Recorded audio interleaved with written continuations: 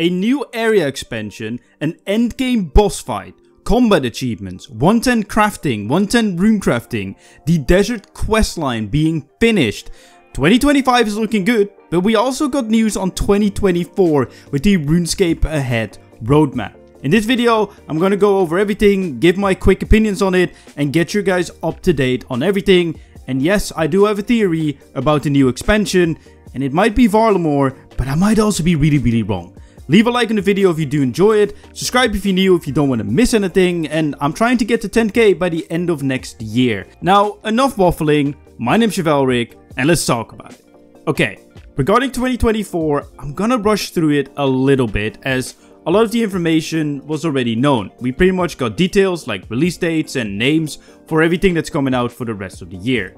First of all, we're gonna get a new 4th Conjure on September 2nd and it will be the warrior that you guys saw in the release art of Necromancy. Next up is the Gate of Elidinis quest for the new skilling boss, a hard requirement to be able to do the skilling boss once it releases. The quest releases on September 16th and the skilling boss will release on the 23rd. And the rewards have not been shared, but there will be skilling items that will help you with, you know, really cool in my opinion and I'm really happy to see that the quest releases a week before the boss which kind of gives you some time to actually do the quest and let it breathe a little bit and also build some hype instead of what happened with the Sanctum where I kind of felt like you rushed through the quest because you wanted to do the bossing content at least that's what it felt like for me. Group Iron Man is releasing in late October and early November which I'm really happy about because I was gonna go on a holiday in early October, so perfect timing for me, as with Necromancy, I had to cut my holiday short, because obviously I wanted to be there on release as a content creator. And yes, I have a group, but nothing is set in stone yet, so you guys have to wait before the announcement.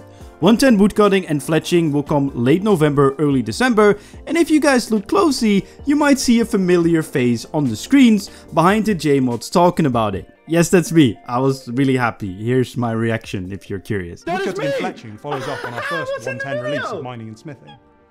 And while we're still in the early stages of look. development, we're gonna get a new tree, new hatchet, multiple, so we're probably gonna get a tier 90 and a tier 100 hatchet, which I'm really happy about because I was kind of scared that with us getting the Imcando hatchet last year, they would skip out on like tier 90 and go straight to tier 100, but they didn't. We're also going to get a level 100 range weapon and a masterwork range weapon. So that is something new. We're now having masterwork ranged added to the collection of masterwork things. And I'm assuming that in the future we might also be seeing masterwork magic and masterwork necromancy, which I think is really cool. And the quest that we're gonna get in December is the first on the desert quest, which requires you to have completed the Fight Club and the Ode of the Devourer. These are quests that will directly be a continuation on the desert quest line and they're going to be finishing that in 2025, which I think is really exciting as I think it's good that we see some quest lines finished. Now on to the good stuff, 2025. First of all, 110 runecrafting and a clear skill to create magic weapons. We're going to get another skill increase as we pretty much expected, and the next one is going to be runecrafting. But they're also going to kind of redesign it. I don't know if it's going to be from the ground up or if it's just from 100 onwards, but they want to add a way to create magic weapons as pretty much we have a way to create melee weapons, create range weapons, even necromancy weapons, but not magic weapons. So using runecrafting for that, to me, makes a lot of sense, even lore-wise, as runecrafting was actually used to make staves, and staves are now in the crafting category, which I don't know. Curious to see if they will be moved to runecrafting or not, but we will see. Next up is Desert Quest 2, which I first read as Desert Treasure 2, but it's not, at least not as far as we know now, because right now it's just called Desert Quest 2. So we don't really know a name. It could be Desert Treasure 2, it could also not be, but we'll have to wait and see. There's nothing much to know about it. We just know that it's the end of the desert storyline, so whatever the lore there is, you might be able to make some theories. But now the big, big one that got me really excited is 110 crafting.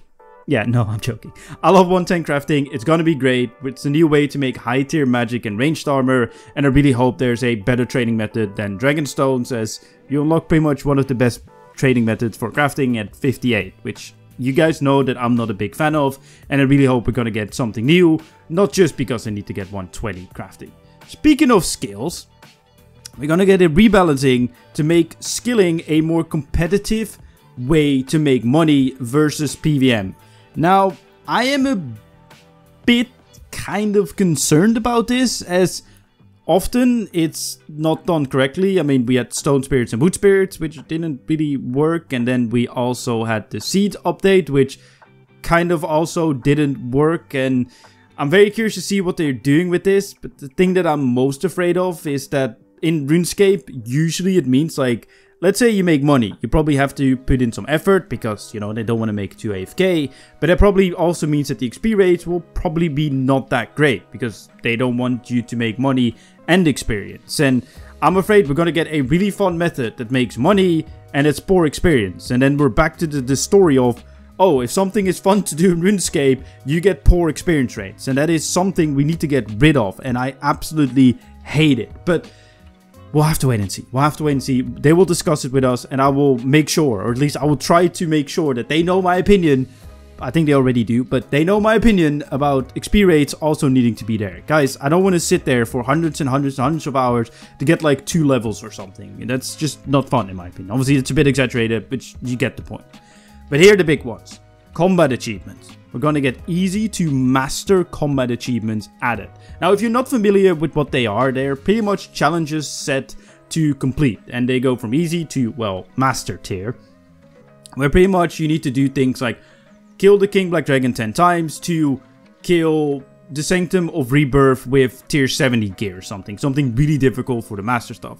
This literally adds hundreds and hundreds of hours to already existing content and is gonna be so exciting and I really hope that it has a really cool reward that you can show off and say like, hey, look, I have completed all of this and I'm good at PVM, which I am going to try and complete everything and I am not the best at PVM. I'm not horrible, but yeah, I guess till then we're gonna be working on getting more and better gear sets because I probably need to use the other styles as well. In old school, they have a Zuk Slayer helm as the Grandmaster, because they have Grandmaster, uh, tier reward, so I really hope we see something similar.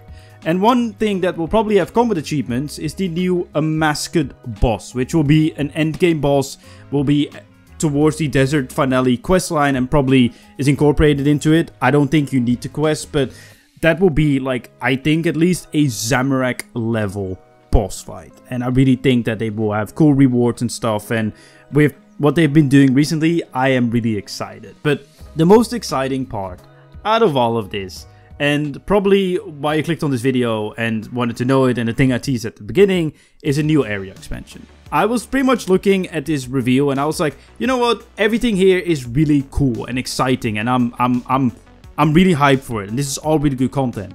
But there wasn't anything that really made me go like, oh my god, this is insane. But a new area expansion? Yeah. Like a new area expansion doesn't just mean, oh, we got a new area. No, that's new quests, that's new skilling method, that's new monsters, that's maybe new bosses, that's new everything. Like th there's so much opportunity there to add in content and content and content and content. And that to me is exciting. But what will it be? Well, there's some sort of bird on there, which reminds me of the Quetzal from Varlamore. They're in the very early design stages, so I don't even know if they have an idea on what they're gonna do. If we're maybe gonna get Zeah slash Varlamore, because Varlamore is a part of Zeah. It's the new continent that Old School RuneScape released.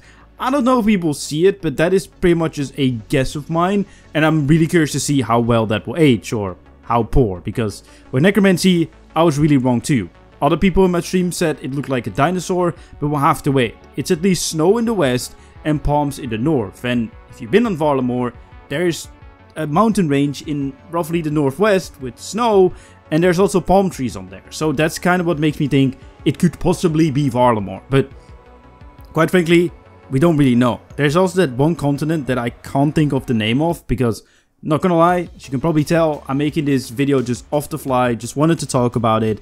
But there's this one continent that has been talked about for quite a long time and been teased, but isn't actually in the game. It's not Zeah, it's something else. Apparently it's like north or west or something from Anachronia and like north of like Port Phasmatis.